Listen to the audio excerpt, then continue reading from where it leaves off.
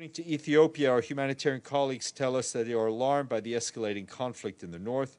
There have been reports of rocket attacks as the Amhara region as well as in Eritrea.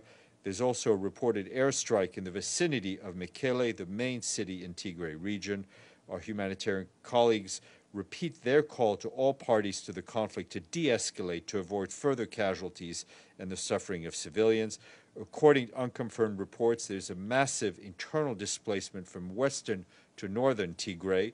Um, uh, more than 25,000 Ethiopians have crossed into Sudan so far.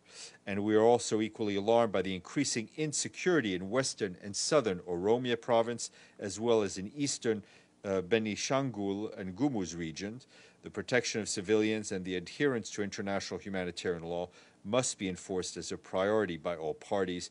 In addition, we call for humanitarian access, the resumption of telecommunications, and basic supplies, including food, medicine, and fuel for citizens in the Tigray region.